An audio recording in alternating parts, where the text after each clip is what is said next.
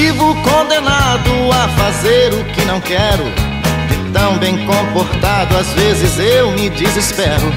Se faço alguma coisa, sempre alguém vem me dizer que isso ou aquilo não se deve fazer.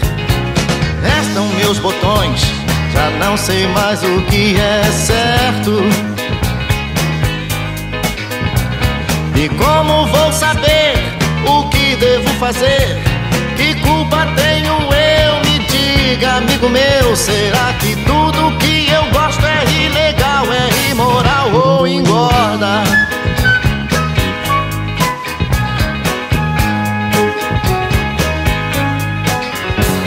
Há muito me perdi entre mil filosofias